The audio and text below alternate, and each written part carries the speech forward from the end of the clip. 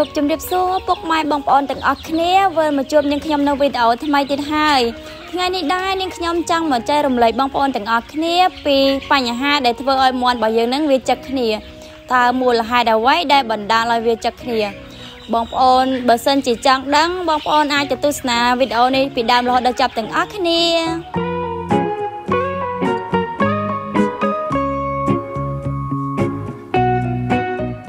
បងប្អូនទាំងអស់គ្នា ថ្ងៃនេះដែរនាងខ្ញុំមកស្រាយបង្ហាញបងប្អូនទាំងអស់គ្នាពីបញ្ហាទាំងអស់ហ្នឹងចាចំពោះមន់របស់យើង នៅពេលដែលវាចឹកគ្នា គឺវាចេញអាការៈមួយដូចថាវាចាប់ដាប់ដោះរោមឲ្យបងប្អូន ហើយសម្រាប់ការដោះរោមនេះផងដែរគឺវាចាប់ផ្ដើមដោះរោមពីអាយុ21ថ្ងៃឡើងហើយនៅពេលដែលវាដោះរោមគឺបងប្អូនត្រូវមានការប្រុងប្រយ័ត្នមែនទែនបងប្អូនព្រោះកូនមន់របស់យើង នៅពេលដែលវាដោះរោមវាតែងតែចឹកគ្នាតែអឺចឹកគ្នាហ្នឹងមិនមែនចឹកគ្នាលក្ខណៈធម្មតាបងប្អូនគឺវាចឹកគ្នារហូតអាចដល់ធ្លាយពវៀនឬក៏រហូតដល់វាងាប់បានបើសិនជាយើងមើលមិនទាន់ណាចាហើយបញ្ហាទាំងអស់នេះគឺបងប្អូនត្រូវតែដាក់ថ្នាំបណ្ដោះរោមវាសម្រាប់លាយជាមួយចំណីឲ្យវាស៊ីបងប្អូនដើម្បីជួយជំរុញឲ្យវានឹងដោះរោមលឿនហើយវាលែងចឹកគ្នាបងប្អូនហើយ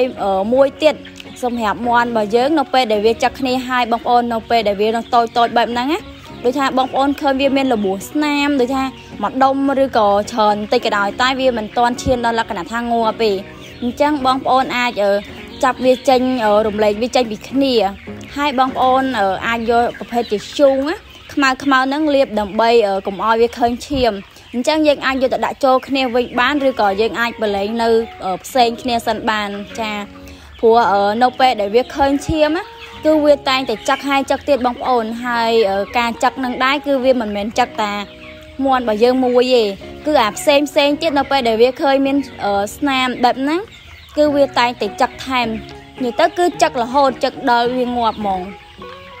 ចាហើយមួយទៀតបងប្អូនតែងតែធ្លាប់ឮគេនិយាយថានៅពេលដែលមន់ចឹកគ្នា គឺយើងត្រូវកាច់ដូចជាយកស្លឹកប្រភេទបន្លែ ដូចជាស្លឹកឆាយ៉ាឬក៏ប្រមាថថ្លៃឲ្យវាចឹកដើម្បីកាត់បន្ថយការចឹកឬក៏យើងប្រឡែងឲ្យវាចឹកស្មៅបងប្អូន តែនេះគឺជាវិធីសាស្ត្រដែលយើងមិនអាចធ្វើសម្រាប់កូនមន់បានទេព្រោះបងប្អូនដឹងស្រាប់ហើយប្រភេទកូនមន់របស់យើងនៅពេលដែលវាតូចតូចបែបហ្នឹងគឺកាពះពវៀនវានៅខ្សោយមែនតែនបងប្អូនអញ្ចឹងហើយវាមិនអាចទទួលយកនៅប្រភេទជាបន្លែបានទេ យើងអឺធម្មតាដាក់ប្រភេទជាចំណីអឺ ឬក៏ប្រភេទអាថ្នាំបណ្ដោះរោមនឹងលាយជាមួយចំណីឲ្យវាស៊ីបានចា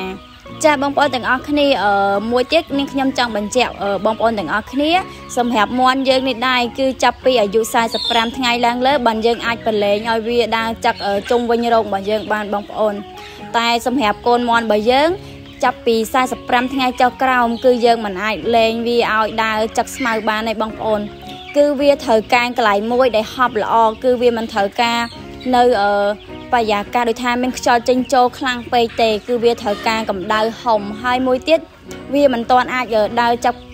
ប្រភេទជាបន្លែអីខាងក្រៅបានទេបងប្អូនព្រោះវាអាចបណ្ដាលឲ្យមាត់របស់យើងហ្នឹងវាអាចរាកបានចាបងប្អូនទាំងអស់គ្នាសម្រាប់វីដេអូរបស់នាងខ្ញុំដែរគឺមានតែប៉ុណ្្នឹងទេសម្រាប់ចែកជូនទៅដល់ពុកម៉ែបងប្អូនទាំងអស់គ្នាបានយល់ដឹងចា ហើយបើសិនជាបងប្អូនស្រឡាញ់ចូលចិត្តបងប្អូនកុំភ្លេចព្យាយាមទៅបងប្អូន គឺយើងត្រូវការស្វែងរកពីដំណោះស្រាយឬក៏វិធីសាស្ត្រដើម្បីធ្វើឲ្យការចិញ្ចឹមរបស់យើងហ្នឹងកាន់តែជោគជ័យចាហើយបើសិនជាបងប្អូនចូលចិត្តកុំភ្លេចជួយ like និងជួយ share អ្នកមួយផងបងប្អូនដើម្បីជាកម្លាំងចិត្តឲ្យនាងខ្ញុំធ្វើនៅវីដេអូថ្មីថ្មីបន្ថែមទៀតចាអរគុណជម្រាបលា